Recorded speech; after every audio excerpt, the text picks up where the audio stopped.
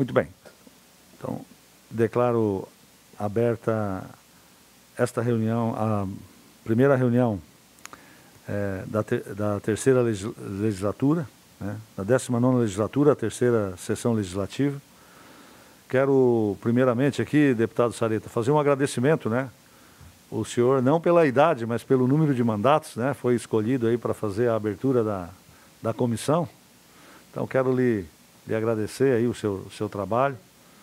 E, de pronto, nós é, recebemos de usuários e permissionários é, do SEASA um pedido para uma audiência pública para se debater a questão do horário de funcionamento daquela instituição, que ela é fundamental para a, as vendas, para o sucesso, né, principalmente da agricultura familiar.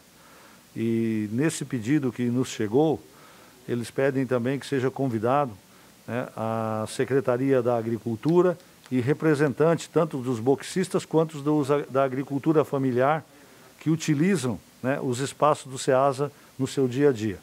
Então, eu, é, é, houve, houve uma mudança recentemente, a, a pedido inclusive de, de instituições, e que tem causado alguns transtornos. Então, para que nós todos tenhamos conhecimento e possamos deliberar sobre o assunto, é, como tem uma certa urgência, nós tomamos a liberdade de propor aos senhores, se vocês concordarem, né, a aprovação desse requerimento e nós veremos depois com a Comissão de Agricultura uma data aí na próxima semana para ouvir aí todos os envolvidos e deliberarmos sobre esse assunto.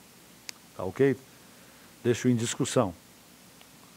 De acordo, senhor presidente. Também de acordo. Também de acordo, presidente. Então, declaro aprovado o requerimento e também é, se... De acordo também, senhor presidente. Obrigado, deputado Volney. Achei que já tivesse... É, quero, então, de, deixo aprovado o requerimento, deixo a palavra livre. Se ninguém mais quiser fazer uso da palavra, declaro então encerrada esta reunião da Comissão de Agricultura e Política Rural. Muito obrigado pela participação de todos.